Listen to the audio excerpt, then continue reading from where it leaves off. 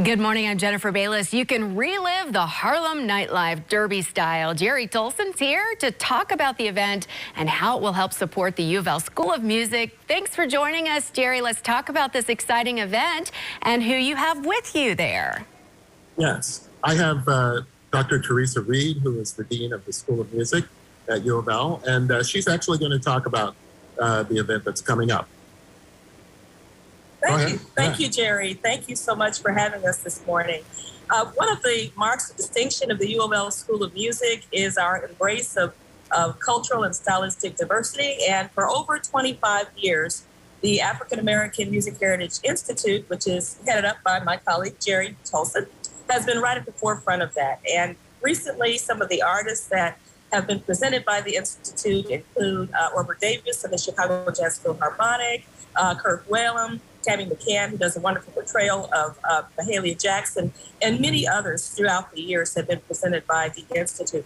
So we want to see the Institute do that wonderful work for many, many, many years into the future.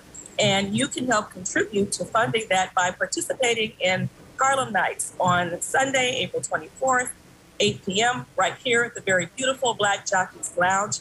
It's a fundraiser, but it's going to be a fantastic evening for those who want to dress up, have some good food, and, and come and enjoy a good time for a very good cause.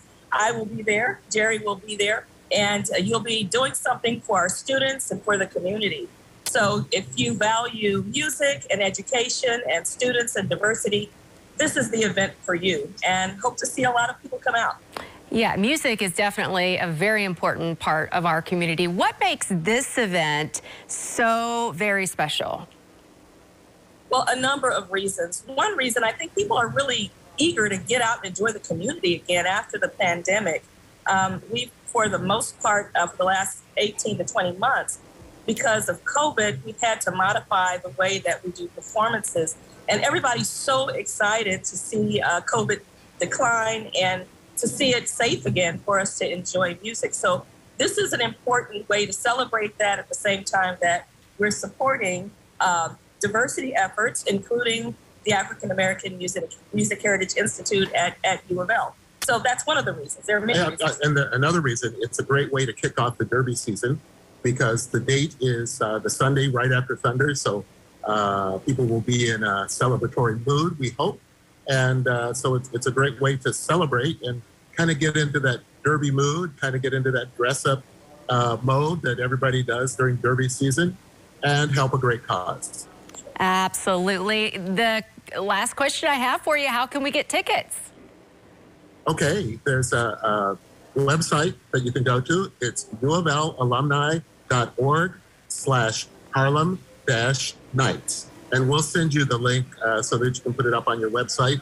And we really appreciate the support of WLKY in uh, all of our endeavors, but especially this one. Is, is it okay if Jerry says that link again? Is that okay? Yeah, go ahead. Yes, link, yeah, the link once again is uoflalumni.org slash Harlem dash nights. And that will get you the information and you can purchase your tickets there as well. Awesome. Thank you guys so much for joining us and best of luck with your event. We hope Thank to see you. you there.